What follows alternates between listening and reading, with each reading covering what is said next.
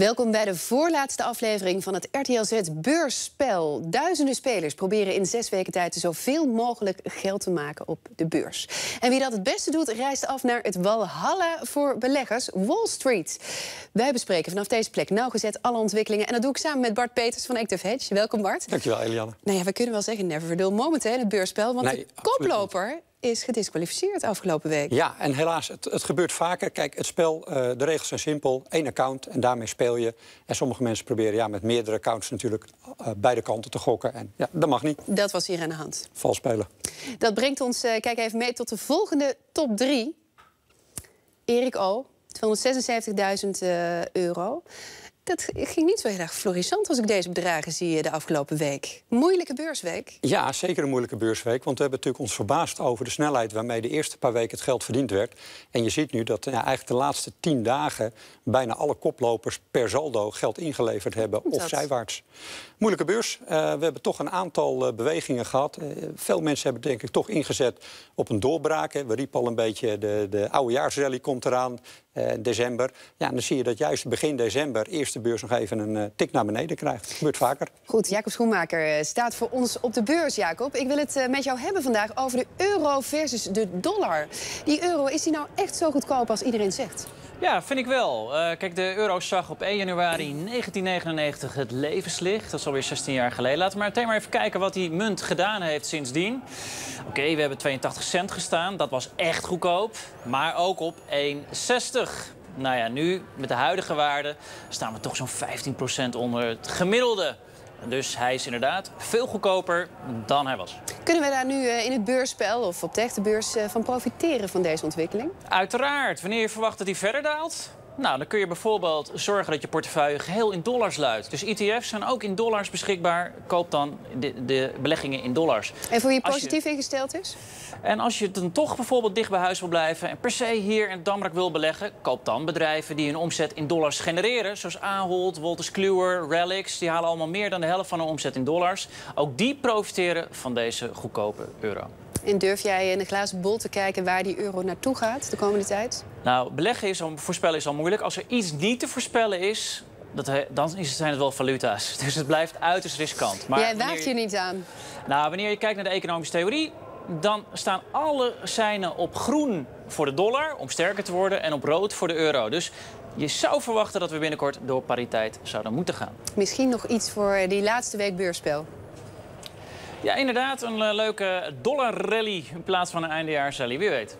Oké, we gaan eh, naar eh, iemand anders. Dankjewel Jacob. Eh, naar onze vriend van de show. Want u weet het inmiddels, wij volgen elke week de beleggingsprestaties van Varken Remco. Die heeft volstrekt willekeurig een portefeuille bij elkaar gescharreld.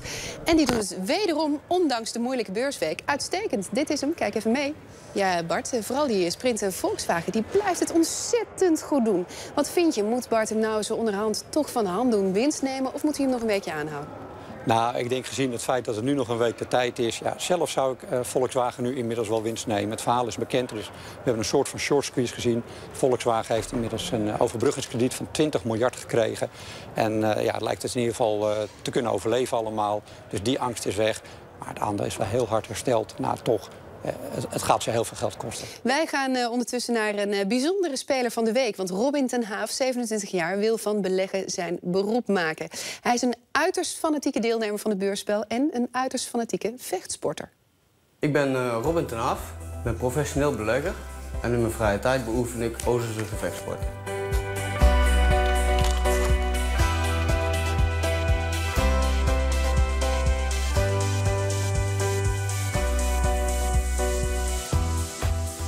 Je hebt een Twitter-account en door dat Twitter-account ben je professioneel belegger geworden. Ja, dat klopt. Ik eh, heb juist mijn Twitter-account opgestart omdat ik eh, door de jaren heen continu merk dat ik alles goed voorspel. En ik er eigenlijk echt wel verder in wilde.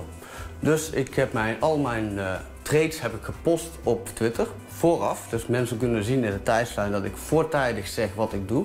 En achteraf laat ik altijd zien wat de winsten en verliezen zijn geweest. Je hebt de laatste twee jaar heb je alles goed voorspeld.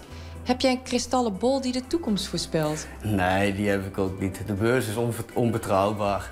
Maar wat je wel kunt zien is, je kunt patronen herkennen. Je weet ongeveer waar een top zit en waar een bodem zit.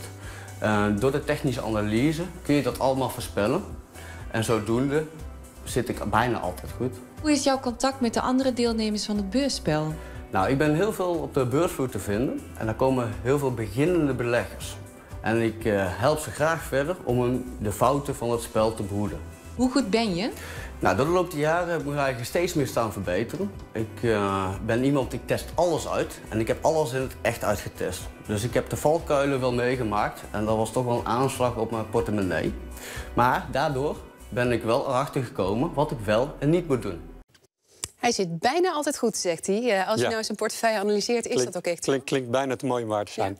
Ja. Um, nou, ik, ik, uh, we hebben het eerder over gehad. Technische analyse is een hulpmiddel en het is geen heilige graal. Uh, je kan zeggen van ik heb de laatste tijd heel goed gedaan. Dat is mooi, maar dat is terugkijkend naar het verleden. En het gaat erom, als de markt verandert, zul je ook je technische analyse moeten aanpassen aan een veranderende markt. En aangezien je bijna nooit weet wanneer de markt exact verandert, zitten er altijd periodes tussen waarin het ook weer een tijdje minder gaat. Nu hoor ik beleggers steeds zeggen: je moet bovenop die markt zitten. Maar hoe doe je dat? Nou, bovenop de markt zitten bestaat eigenlijk uit een aantal onderdelen. Je moet uh, kijken naar uh, je randomgeving. Hoe, hoe, zit je, waar zit je? Uh, ik zeg zelf ook altijd: heb je een negatief uh, gesternte op je, ben je pessimistisch, moet je niet gaan beleggen. En je moet positief naar de markt kijken. En dat wil niet zeggen dat je altijd omhoog kijkt in de markt, maar je moet wel vanuit een positieve inborst moet je beleggen. Anders neem je verkeerde beslissingen. En verder uh, ga ik aan de keukentafel zitten met mijn laptopje. Of uh, nee. ik zag daarnet uh, heel veel schermen. Hoe, hoe ja, nou, faciliteer je dat het beste? Nou, ik denk dat je naar een aantal punten moet kijken. om te beginnen, je schermen. ja, een cockpit van schermen. We zien het al een beetje staan. ik zelf handel het liefst met één computer, vier grote beeldschermen. En dan nog een laptop ernaast als zekerheid. Maar je moet veel beeld hebben. Dan hoef je niet steeds te klikken. En het vermijdt ook dat je gewoon een keer een bericht mist. Want Vergt even een investering, zitten, maar dan heb je ook wat. Ja, maar het is niet meer zo duur tegenwoordig als vroeger. Um, nou, verder, ik noemde al een systeem. Eén uh, computer is gevaarlijk. Als die kapot gaat en je hebt een positie, kun je niet meer handelen.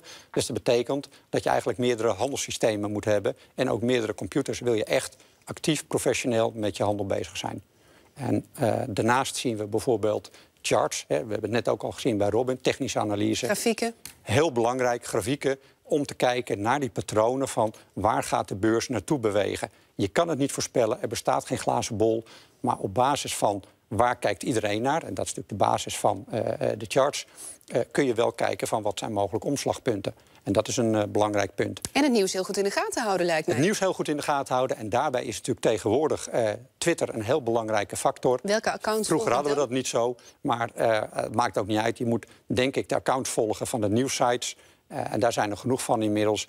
Maar waak ook, want Twitter Iedereen kan wat posten en dat wil niet zeggen dat dat altijd klopt. Ja, over uh, goed ingevoerd uh, gesproken. We gaan uh, naar de tip van Tom. Tom Muller, 50 jaar werkzaam op Beursplein 5. Die deelt zijn wijsheid met u thuis. In de beleggingswereld zijn er altijd veranderingen. Dat kan inhouden dat sommige bedrijven met een strategiewijziging komen die grote invloed kan hebben op de toekomstige ontwikkeling van het bedrijf. Als belegger kan je daarvan profiteren als je daar goed naar kijkt. Dat houdt in dat van dit soort bedrijven op de lange termijn daardoor de bakens verzet kunnen worden. Als voorbeeld noem ik hierbij het Nederlandse bedrijf Axel Nobel, dat met de strategiewijziging een Noord-Amerikaans onderdeel heeft verkocht, zich gefocust heeft op de Europese verfactiviteiten en daarmee in de komende jaren een fors beter resultaat kan halen. Dat is het moment om als belegger op die aandelen te kopen. Eens Bart?